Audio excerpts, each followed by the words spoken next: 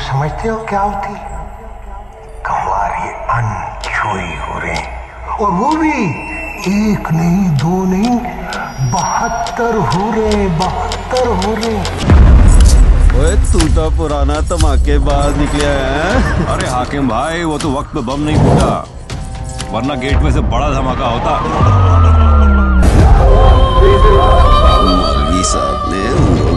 कपड़े बयान किए हैं। बलवा हो जाना यहाँ तो। इधर तो एक भी दिखाई नहीं दे रही। सबर कर। सात आसमानों से ज़मीन पर आने में टाइम लगेगा तुम्हें। नहीं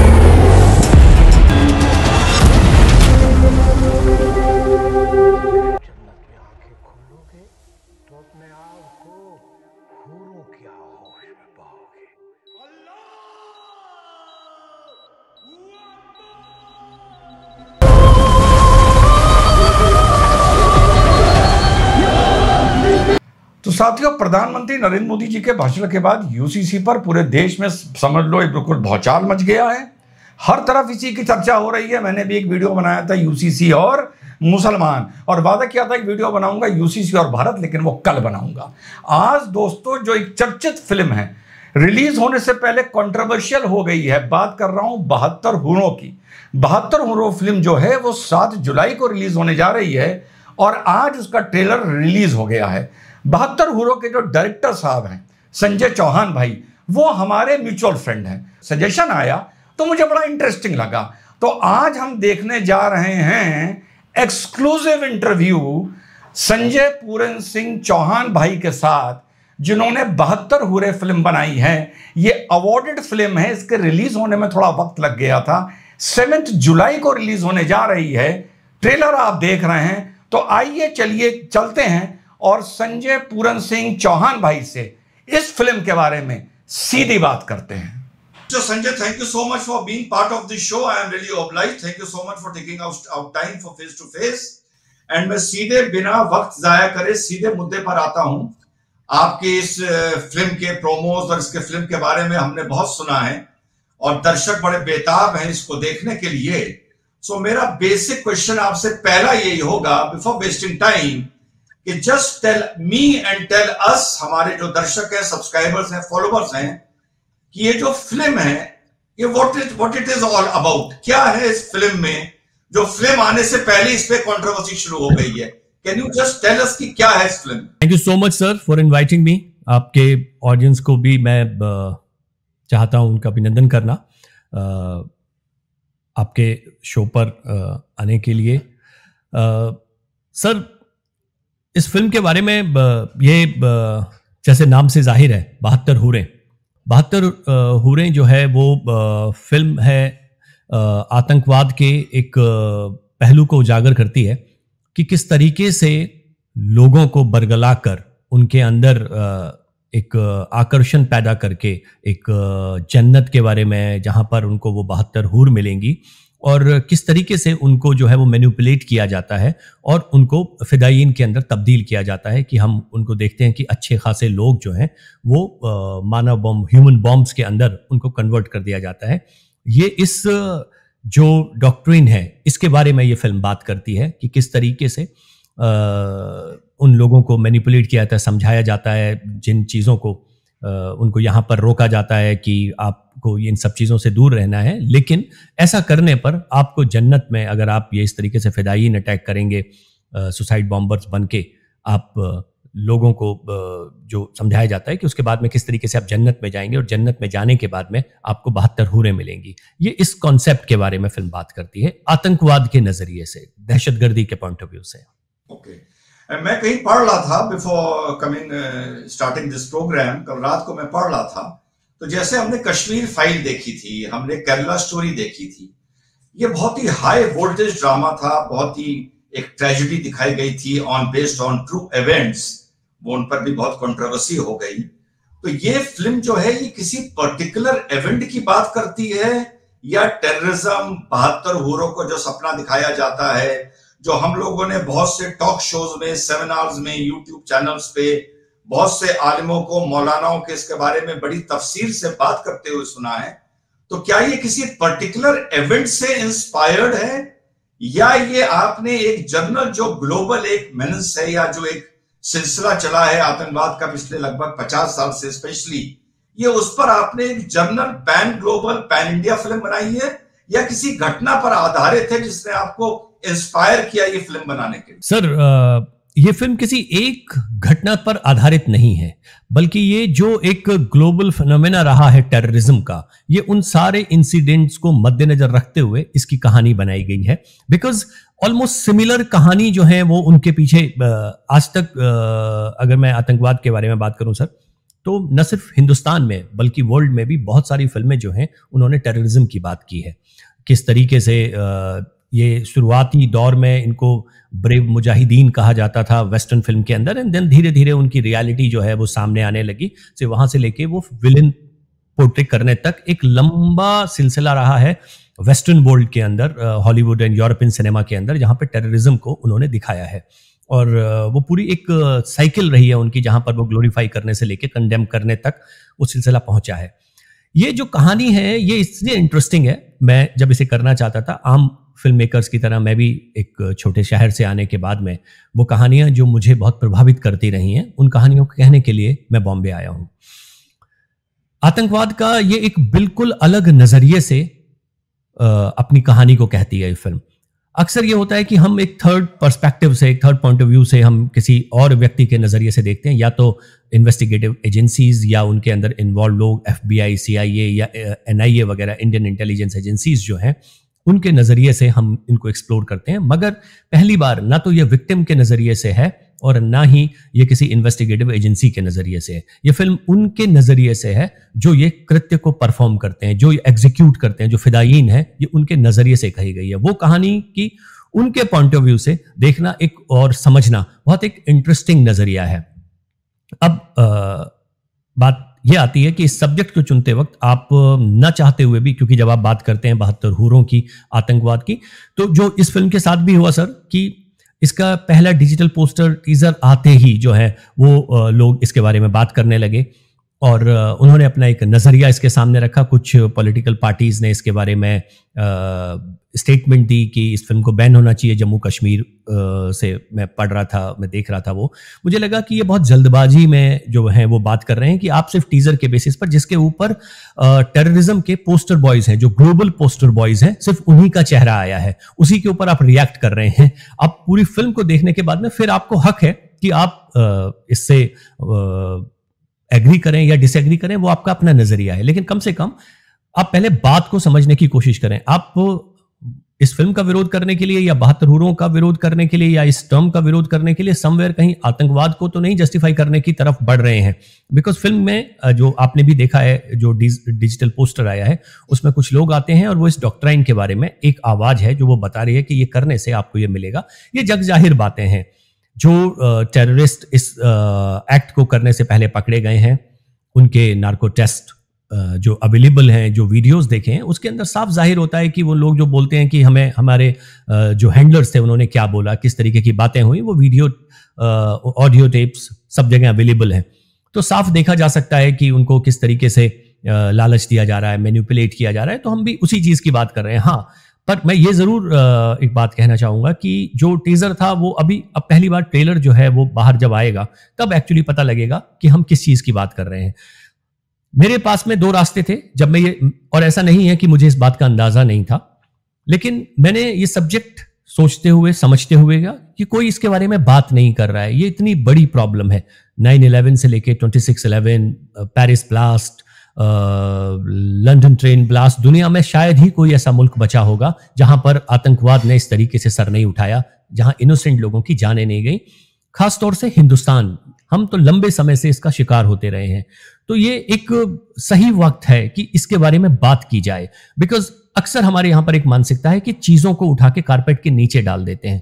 हम कश्मीर भी जाते हैं तो सॉन्ग और डांस शूट करके आ जाते हैं। कभी उसकी ब्रूटल रियलिटी को सामने नहीं लाते, जो कश्मीर फ़ाइल के अंदर आया। और अब ऑडियंस भी तैयार हो चुकी है और एक नई तरीके की, नए एरियाज़ खुल रहे हैं जहाँ पर लोग जो हैं वो आपकी ऑनेस्टी से फ़िल्म देखना चाहते हैं, आपका इंटेंट क्या है, वो देखना चाहते हैं कि आप व्हाइट वॉश करने के लिए फ़िल्म कह रहे हैं या आप वाकई उन कोर इश्यूज़ को टच कर रहे हैं।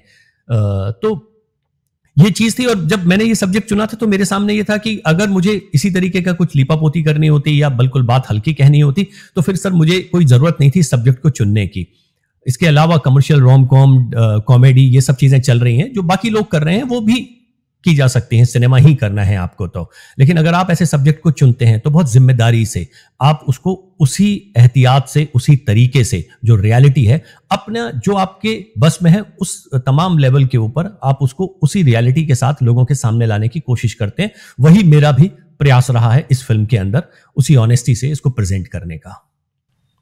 ओके अभी आपने जब आप बात बता रहे थे जो आपने कश्मीर फ़ाइल का ज़िक्र किया आपने कहा ब्रुटैलिटी जो वहाँ पर कश्मीर में हुई है वो लोग नहीं दिखाते हैं और जिन्होंने दिखाई बहुत बड़ी कंट्रोवर्सी हो गई। लोग जाते हैं गा, गाना और नाच रिकॉर्ड करके शूट करके ले आते हैं। बट जब मैं आपकी फ़िल्म के बारे में पढ़ रहा था तो एक तरफ़ आप बता रहे हैं एक टेररिज्म ग्लोबल फिनोमिना बहत्तर हुरे। और जो मैंने राइटअप पढ़ा वो आपका नहीं था, पर किसी आपके क्रिटिक ने लिखा था कि it is a film which is it is it is like a dark humour तो अब मेरे जहन में दो कंफ्यूजन है। एक फ़िल्म जो टेरर पर है ग्लोबल फिनोमिना पर है, कत्लोआम पर है, जो मज़हब के नाम पर होता है। जैसी हमने केरला स्टोरी देखी या कश्मीर फ़ाइल देखी, वो बड़ी टेरिफाइंग मूवीज़ थी पेट्रीफाइंग मूवीज़ थी, बहुत ही ब्रूटल मूवीज़ थी। पर आपका मैंने पढ़ा कि वो ये डार्क ह्यूमर है। तो ये डार्क ह्यूमर टेररिज्म से आपकी फ़िल्म में कैसे जुड़ रहा है ये मुझे can you please explain the audience ji uh, uh, sir जिन्होंने ये आ, फ़िल्म इंटरनेशनल फ़िल्म फेस्टिवल के अंदर आ, इसका एक स्क्रीनिंग हुआ था। इसके बाद में ये नेशनल अवार्ड के अंदर थी जहाँ पर आ, इसे नेशनल अवार्ड भी मिला है इस फ़िल्म को। कुछ लोगों ने कुछ और फेस्टिवल में जब फ़िल्म जाती है तो कुछ रिव्यूअर्स होते हैं जो जिन्होंने ये फ़िल्म देखी है और ये उनका नज़रिया है। आ, मैं ये चीज़ जो है ऑडियंस के ऊपर छोड़ता हूँ कि वो इसको कैसे देखते हैं। ये फ़िल्म एक ब्रूटल सच्चाई जो है उसको लेके आती है उस नज़रिए से। एक तरीके से अगर मैं सिनेमा के पर्सपेक्टिव से बात करूँ और सिंस आप सिनेमा लिटरेट हैं तो ये बात मुझे कहते हुए आपसे झिझक नहीं होगी कि नॉर्मली हम जब कहानियाँ कहते हैं तो हमारी फ़िल्म के हीरो कोई और होते हैं। ये एंटागनिस्ट के पॉइंट ऑफ़ व्यू से कही हुई कहानी है। आप टेररिस्ट जो हैं, जो इस इन्फिडेल्स को काफिर को इसलिए मार देना चाहते हैं क्योंकि उनको लगता है कि ये उनके रास्ते में सबसे बड़ी बाधा है और वही लोग ये काम को अंजाम दे रहे हैं। उनके नज़रिए से कही हुई कहानी है। तो अब इसके उस नज़रिए से कही कहानी है। मैं वो उनको एक नज़रिया दिया गया है उस नज़रियाती लोगों के साथ में रह के वो अपने इस कृत्य को अंजाम देने के लिए आ रहे हैं। उनकी कन्वर्सेशन जो है वो इनिशियली ज़रूर उनको बहुत उम्मीदें हैं कि वो जिन हुरों को मिलने जा रहे हैं उनके साथ में मतलब वो क्या कुछ कर पाएँगे। जो जो जो सब एक नरेटिव का हिस्सा होता है उस तरीके की चीज़ों से। मैं ये नहीं कहूँगा कि ये आ, मतलब ह्यूमर जैसी चीज़ इस फ़िल्म के साथ में क्योंकि सेंसर के भी बहुत सारे कट्स जो हैं वो इस फ़िल्म को मिले हैं इस चीज़ के लिए, क्योंकि वो बहुत लैंग्वेज को लेके बहुत सारी चीज़ें थी जो मैं फ़िल्म में रखना चाहता था, मगर सेंसर उन चीज़ों के लिए एग्री नहीं था। हालाँकि ये मैंने काफ़ी पहले ही इस फ़िल्म को क्योंकि नेशनल अवार्ड में गई थी और वहाँ पर सेंसर सर्टिफिकेट जो है वो बहुत इंपॉर्टेंट फैक्टर होता है। तो मैं बहुत सारी चीज़ें रखना चाहता था, लेकिन इस बात के लिए वो सेंसर तैयार नहीं था, जो बहुत सारे कट्स जो हैं वो इस फ़िल्म को मिले हैं। मुझे नहीं लगता कि इससे ज़्यादा विजुअल की लैंग्वेज जो है more than the dialogues visual की एक लैंग्वेज होती है ये फ़िल्म एक more of a visual narrative है जो उन लोगों के आ, मैं अभी लिबर्टी मैं ये बताना नहीं चाहता कि एग्जैक्टली exactly बिकॉज़ वो कोर है फ़िल्म का तो मैं उसको सात तारीख तक एटलीस्ट रखना चाहता हूँ। मगर इस फ़िल्म को आ, अगर मैं सीधे तौर पे कहूँ सर तो आप सरल भाषा में नहीं कह सकते। उसके साथ में एक विजुअल्स जो है डिस्टर्बिंग है जिन लोगों ने फ़िल्म देखी है, उनका मानना है कि फ़िल्म डिस्टर्बिंग है। और बस यही वो एक चीज़ है। मुझे लगता है कि उन्होंने कहा कि क्या इसको टोन डाउन किया जा सकता है बिकॉज़ ऑडियंस देखने के लिए मुझे लगता है कि ये जो बात मैं कहने जा रहा हूँ टेररिज्म की सुसाइड बॉम्बर्स की, वो इसी भाषा में कही जा सकती है, इसी विजुअल लैंग्वेज के अंदर कही जा सकती है। उसको टोन डाउन करना या उसको ज़्यादा सुटेबल बनाना ऑडियंस के लिए जो रिक्वायर्ड है फ़िल्म को उसी तरीके से बोला गया है। मगर अब इसका जॉनर क्या है कि किसमें आती है, ये बात मैं छोड़ता हूँ क्रिटिक्स के लिए ऑडियंस के लिए, वो देख के अपने आप डिसाइड करेंगे। जिसने अपने विवेक से जो समझा, वो इसके बारे में रिएक्ट कर रहे हैं। मैं उसके ऊपर टिप्पणी नहीं करना चाहूँगा। बट मैंने इसको अपने नज़रिए से जो मुझे सही लगा, उस पॉइंट ऑफ़ व्यू से इस कहानी को कहने की कोशिश की है। कुछ ही घंटे बचे हैं जब ट्रेलर आएगा और उससे पहले विजुअल से वो दिख जाएगा कि ये फ़िल्म किस तरीके की बात और किस अंदाज में कह रही है? ये चीज़ क्लियर हो जाएगी। संजय जी, जैसे हमने केरला स्टोरी देखी, हमने कश्मीर फ़ाइल देखी, ये दोनों फ़िल्म सच्ची घटनाओं पर आधारित थी। कितना कम दिखाया गया, कितना ज़्यादा दिखाया गया, ये मैटर ऑफ़ डिबेट है मैटर ऑफ़ कंट्रोवर्सी है, लेकिन हाँ कोई सच्ची घटनाएँ ऐसी हुई थी, जिन पर यह फ़िल्म बनी ट्रेजेडी हुई थी। आप जो फ़िल्म बना रहे हैं, ये एक पैन ग्लोबल एक एक पूरे एक ओवरऑल टेररिज्म के फिनोमिना पे बना रहे हैं। क्या हम इस फ़िल्म को प्रैक्टिकली आपका सिनेमेटिक लिबर्टी या एक फिक्शन मान सकते हैं? या आप इस बात को चैलेंज करने के लिए तैयार हैं कि नहीं, मेरे फिल्म्स में कुछ ऐसे डॉक्यूमेंट्स हैं, ऐसे एविडेंसेस हैं कि ये पूर्णतः फिक्शन नहीं है, ऐसा होता है? तो क्या आपने कुछ लोगों के इसमें बयान, कुछ ऐसे लोग जो पकड़े गए, उनके बयान इनकलकेट किए हैं? या ये सिर्फ़ आपने जो पढ़ा पिछले 10-15 साल में, जो आपने नॉनसेंस देखा ट्रेजिडी देखी, उस सबको कलेक्ट करके आपने इसमें पेश करा है, या इसमें कुछ टेररिस्ट के जो लोग पकड़े गए हैं, उनके या कुछ मौलवीज के, आलिम के, उसके कुछ बयान हैं? क्या वो फ़िल्म का पार्ट है? सर हालाँकि बहुत इंटरेस्टिंग आपने ये चीज़ पूछी, मुझे कुछ चीज़ें भी याद आने लगी इसी जर्नी के दौरान की। ये फ़िल्म बहुत सारे प्रोमिनेंट जो टेररिस्ट स्ट्राइक्स हुई हैं, उनके से इंस्पायर्ड है। लेकिन कहानी को हमने फिर भी यही कहा है कि ये एक स्टोरी है जो फिक्शनल है। क्योंकि ये किसी एक विशेष घटना के ऊपर नहीं है, ये बहुत सारी चीज़ों से इंस्पिरेशन ली गई है। लेकिन वो जो लोग हैं जो रोल हमारे जो दो लीड एक्टर प्ले कर रहे हैं, पवन मल्होत्रा और आमिर बशीर वो रोल बहुत सारे लोगों से इंफॉर्मेशन ली गई हैं। उनके ऊपर मॉडल किया गया है बॉडी लैंग्वेज टू उनका तौर तरीका स्पेशली जो मौलवीज और वो सब लोग हैं जो मौलाना जो प्ले कर रहे हैं। जिस ये सब लोग हैं जो देख के समझ में आएगा कि अच्छा ये कहाँ से इंस्पायर्ड है। ये आ, किस की आ, तरफ़ से आप ये बॉडी लैंग्वेज लेने की कोशिश कर रहे हैं? क्योंकि हम आमतौर पर जानते हैं उन लोगों को अक्सर हमको दिखता है। और इनका मॉडस ऑपरेंडी भी वही होता है एक ही तरीके से ये लोग ऑपरेट करते हैं वही भाषाएँ होती हैं। लेकिन ऑथेंटिसिटी का बहुत ध्यान रखा गया है इसके अंदर। लैंग्वेज से लेके plus the choice of words कि विशेष तौर से वो किस तरीके की लैंग्वेज बोलते हैं क्या करते हैं। जैसे ओरिजिनली फ़िल्म के अंदर एक मैं लिबर्टी में तो नहीं हूँ इस चीज़ को बोलने की बिकॉज़ इसके अंदर कुछ मुझे आ, इस तरीके के नाम लेने पड़ेंगे जिन्होंने मुझसे रिक्वेस्ट की है कि हमारे आ, बारे में आप बात नहीं करेंगे कि हमारा कोई भी इस फ़िल्म के साथ में किसी भी तरीके से रिश्ता रहा है। जो लोग ऑफ़ द कैमरा इन्वॉल्व थे इसकी रिसर्च के अंदर और उन सब चीज़ों के अंदर क्योंकि वो अब जिन जगहों से आते हैं वहाँ उनके लिए थोड़ी सी मुश्किलें हो सकती हैं। बहुत सारे लोगों ने रिक्वेस्ट करके स्पेशली मुझे मना किया है कि प्लीज़ आप नाम मत लीजिएगा तो मैं उनका नाम नहीं लेना चाहता। मगर कुछ एक लाइन इस तरीके की थी जो हमारी रिसर्च में निकल के आया कि आप इस तरीके से ये चीज़ें बोली जाती हैं। तो जब जो एक्टर थे जो उनको परफॉर्म करने का टाइम आया तो उन्होंने बोला कि बड़ी मुश्किल हो जाएगी मुझे अगर मैंने मेरे फेस पर ये चीज़ें आएँगी ये सब होगा। तो मैंने उनको बोला कि आ, मैं ये राशिद नाज हैं जो पाकिस्तान के एक्टर हैं और वो एक इसमें एक प्रोमिनेंट रोल जो है वो प्ले कर रहे हैं और वॉइस भी जो है फ़िल्म की वो उनके अंदर है और वो एक बहुत फ़ेमस नोटोरियस किरदार जो हैं शख्सियत हैं, वो उनका रोल प्ले कर रहे हैं, जो हमको देख के समझ में आ जाता है कि हाँ ये कौन से मौलाना साहब हैं जिनकी ये बात हो रही है। तो वो लाइनें थी। मैंने उनको क्लियर बता दिया था कि ये ये चीज़ें होने वाली हैं, क्योंकि मैं कुछ भी इनको छुपा के नहीं रखना चाहता था कि आप आधी इन्फॉर्मेशन दें और काम करवा लें किसी से। तो उन्होंने बोला उन्होंने बोला कि मेरे लिए बच्चे बहुत मुश्किल हो जाएगी, ये कर पाना, क्योंकि वापस घर जाना है, इस तरीके की दिक्कतें होंगी। तो मैंने उनके पास में लाइनें छोड़ दी और मैंने कहा कि, सर, ये आपके ऊपर छोड़ता हूँ मैं, अगर आपको लगे तो आप ये करिएगा। बहुत देर रात उनका फ़ोन आया मेरे पास में और उन्होंने मेरे को बोला कि आप सो रहे थे, डेढ़ बजे, अगले दिन शूटिंग थी। मैंने कहा, नहीं सर, मैं कुछ काम कर रहा था बताइए बोलते हैं आप मेरे पास आ सकते हैं क्या? तो मैं उनके पास में गया। तो उन्होंने आ, मेरे को बोला कि आपके ये डायलॉग्स जो है ना ज़्यादातर तो ठीक है ये एक छोटी सी चीज़ है जो ये प्रॉब्लम है। तो ये आ, अगर आप सही कर लेंगे तो ये सही हो जाएगा। तो मैंने उनसे पूछा कि सर क्या है वो लाइन तो उन्होंने अब उसमें वो थी कि हर एक मर्द को सौ मर्दों की कुत अता फरमाई जाएगी। तो उन्होंने बोला ये सौ मर्द नहीं है दरअसल ये चालीस की मिलेगी। और ये मैंने अभी जो बादशाही मॉस्क है, उनके इमाम साहब से बात करके पूछा है तो उन्होंने कहा है कि नहीं, ये चालीस है तो आप इसको ठीक कर लें, मेरे बिना या मैं भी बोलूँ तो ये चीज़ सही होनी चाहिए। मैंने कहा, नहीं सर, ठीक है बिकॉज़ आइडिया वही है कि जो है, वो उसी तरीके से प्रेजेंट हो।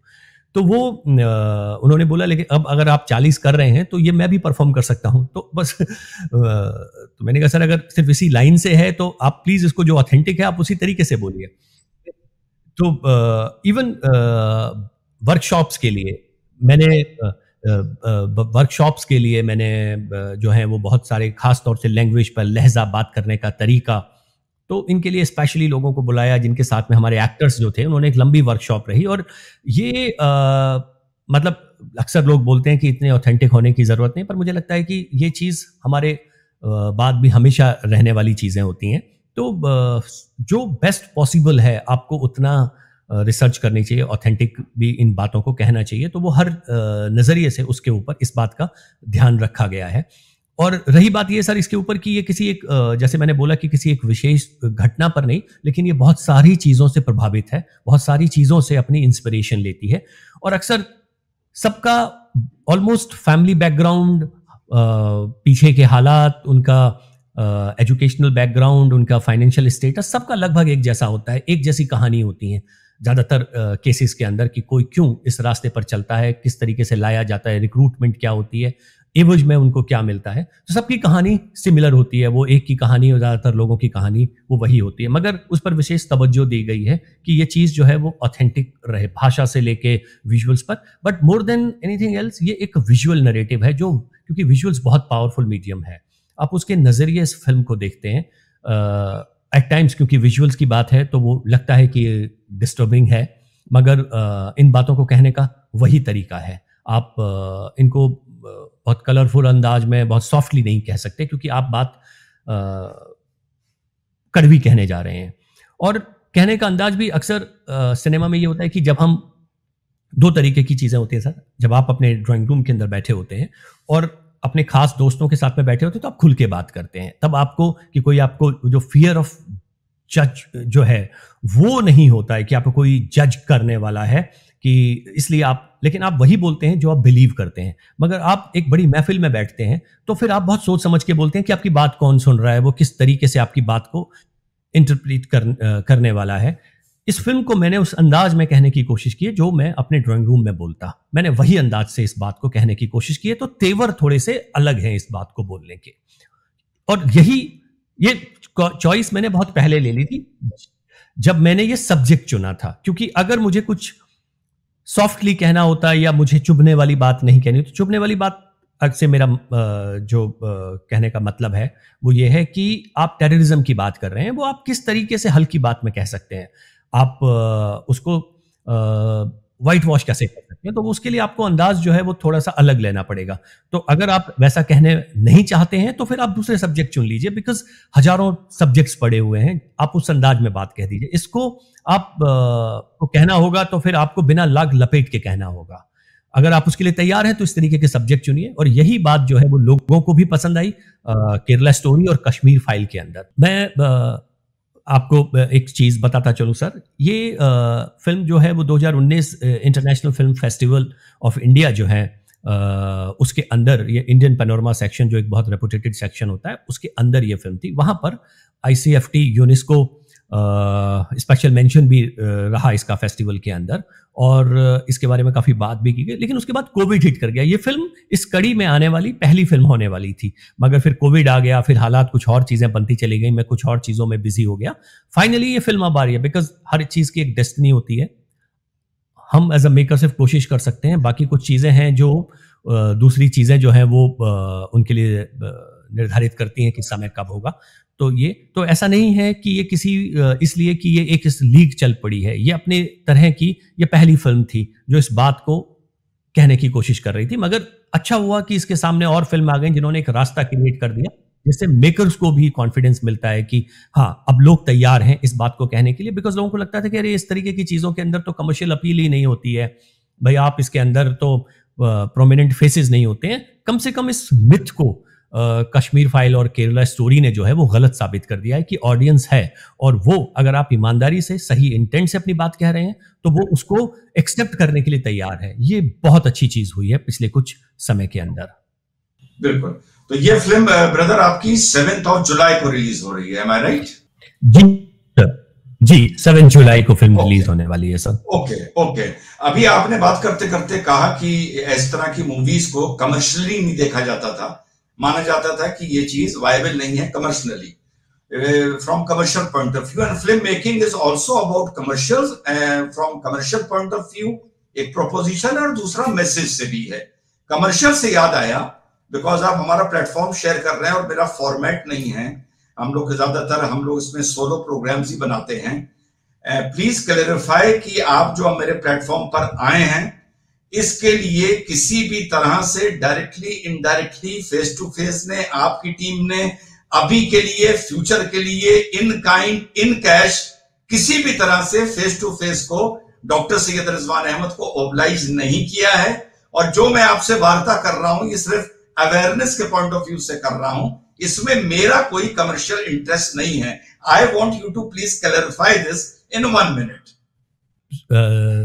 sir मैं सबसे पहले तो ये क्लेरिफाई कर दूँ कि हमारा प्रमोशन का बजट भी नहीं है। और हम जो ऑर्गेनिकली जिस तरीके से उठाया गया और वो सब कुछ ऑटोमेटिकली हुआ। हमने तो सिर्फ़ एक डिजिटल पोस्टर जो था वो डाला था, वो रिलीज़ किया और जहाँ से चीज़ें लोगों का प्यार मिला, चीज़ें पिकअप हुई, आप सब लोगों ने सपोर्ट किया।